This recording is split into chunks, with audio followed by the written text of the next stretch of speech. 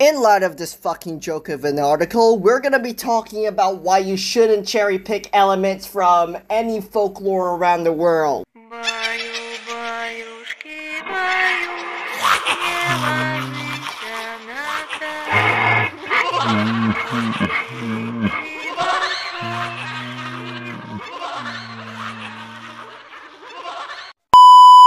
G'day to all you fucking cunts out there. I am Trick One Ting, your resident YouTube psychic, who also happens to be a ghost otaku. Today we're gonna be going back to our roots and actually clowning on some cherry pickers. It's very important whenever talking about these things that you understand the full context. But what is cherry picking? Here's the definition. Cherry picking, suppressing evidence, or the fallacy of incomplete evidence is the act of pointing to individual cases or data that seem to confirm a particular position while ignoring a significant portion of related and similar cases or data that may contradict that position. In other words, cherry picking is a form of woke hippie propaganda. Yeah, pretty much. So I'm just gonna give an example right off the bat. Look at this fucking joke of a fucking article. Southeast Asia's vengeful man-eating spirit is a feminist icon. The Pontianak is a ghost that avenges women who died in childbirth. Her fearsomeness is linked to her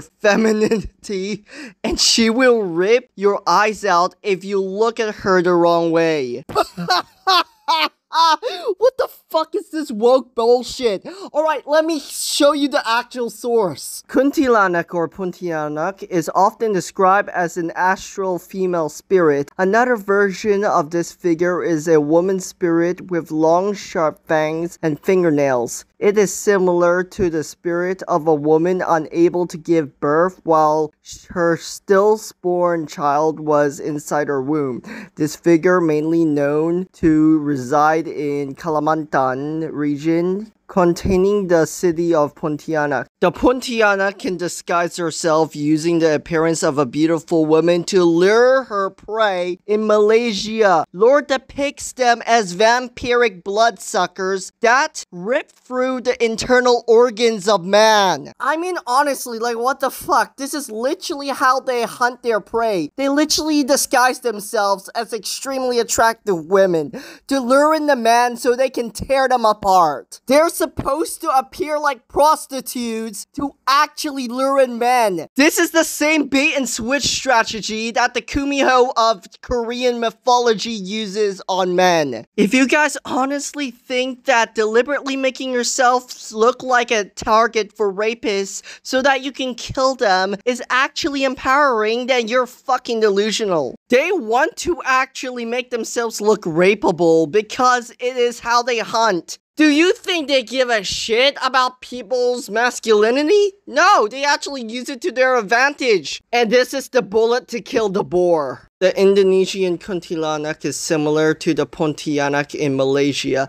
but commonly takes the form of a bird and sucks the blood of virgins and young women. The bird, which makes a gank gank gank sound when it flies, may be sent through black magic to make a woman ill. The characteristic symptoms of vaginal bleeding. When men approach her in her female form, the kuntilanak suddenly turns and reveals that her back is hollow, much like the sundel bolong, a prostitute ghost with her large gaping hole on her back. A kuntilana can be subdued by plunging a sharp nail into the top of her head. So you see, the Pontianak or Kuntilanak does not exclusively and discriminatingly targets men. They also target women. I'm not misogynistic. I'm just stating the fucking full source. If you want, I can actually further clarify it by actually getting in touch with a Bomoh or Dukun.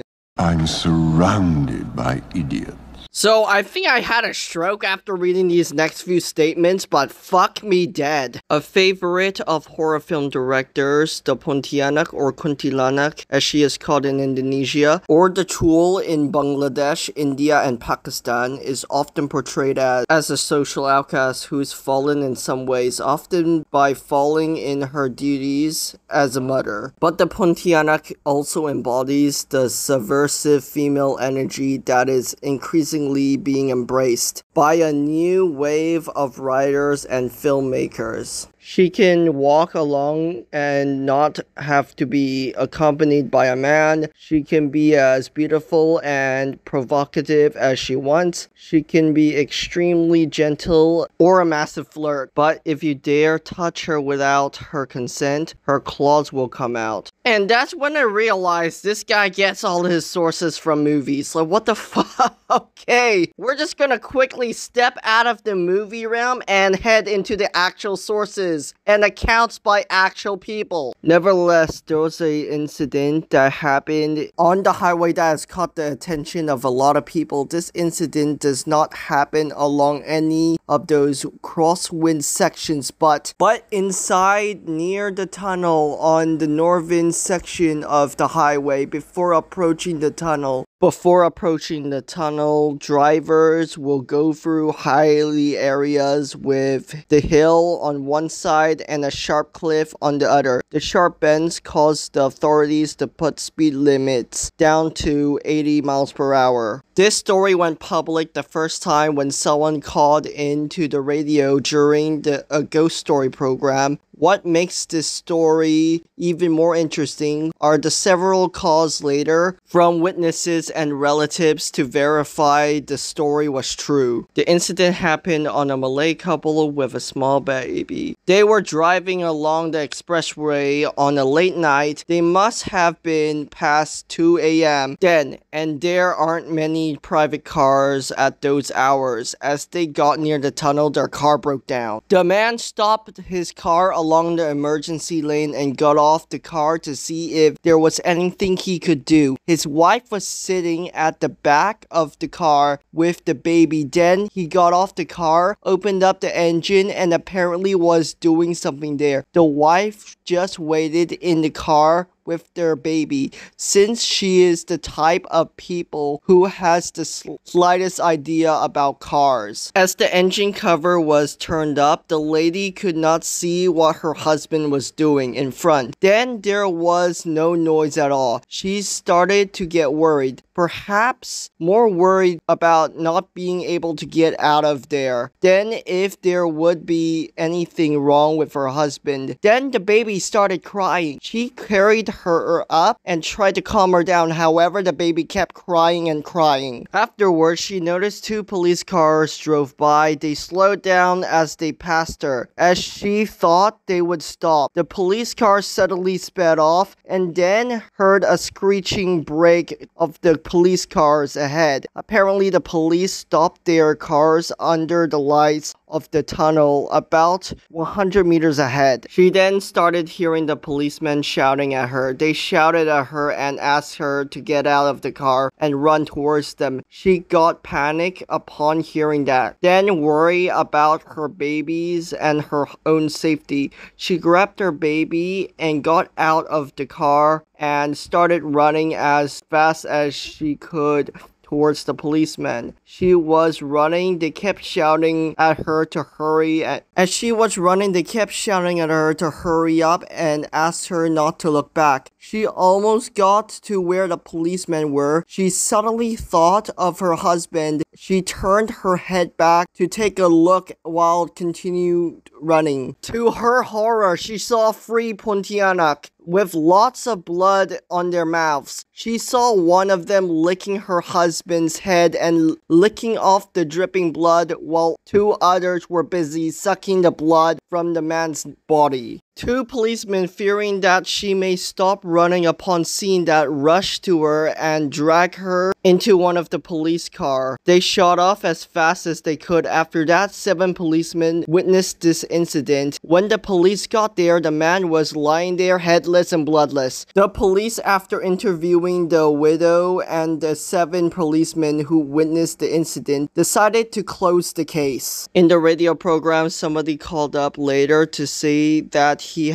was one of the policemen, where at the time, while another called up claiming to be the victim's uncle, he said he refused to believe the story and had applied for the case to be reopened for investigation. He believed it was a murder case. Another caller said his sister, the widow, was distressed after the incident, and he appealed to all listeners to believe that the story was true and be more careful on the highway. Alright, so I actually heard this account from We Are Hantu, and this story took place in Karak Highway. You know that fucking notorious haunted highway? Yeah. Now, I'm not sure about motives or anything, but those three Pontianaks didn't seem the kind to actually get provoked by the guy who was only fixing his car. Like, I mean, honestly, the guy who was killed in the story didn't seem to be the guy that will abuse his wife or anything. But of course, I'm misogynistic for stating actual accounts and not getting my information from movies like other people. I got plenty of bullets in the belt and I'm willing to actually shoot them all at you guys. So let's just keep going. According to one story, a young Indonesian woman was returning to her college campus late at night. It was dark and there was only a few cars on the street.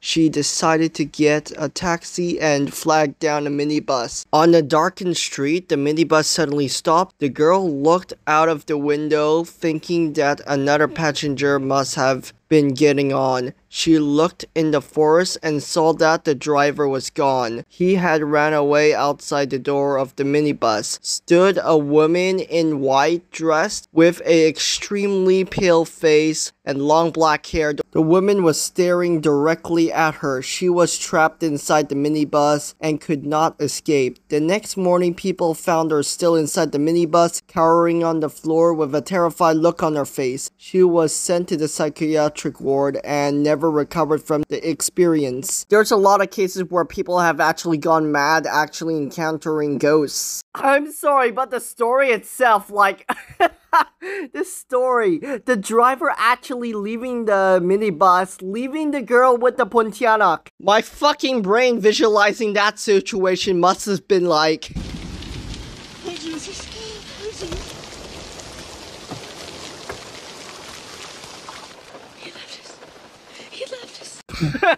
It's gotta be the most realistic reaction ever.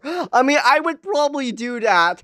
I mean, don't get me wrong, I'm used to seeing ghosts, but if I saw that thing in front of a fucking vehicle, I'd probably just fucking leave the vehicle and dip. Hell fucking no, man. You know, I could just go on and on and on and on and on, but I think you get the gist already. Feminists shouldn't go around cherry picking whatever the shit they see in folklore. And this should go for everybody. If you see something in folklore that actually resonates with you, please, please, for fuck's sake, read the actual source. Read it all the way through because there are some things which you probably won't be able to cross the line and actually do. So, anyways, hopefully you guys enjoyed this video. I'll be making a full profile video on the Pontianak or Kuntilanak in the future with actual sources and accounts from real people. And honestly, this was just a taste. And it's really great going back to my reads for a change, but I think it's time to end this video right there. So, anyways, I'm Chirk1Teen, keep venturing to the unknown, signing the fuck off.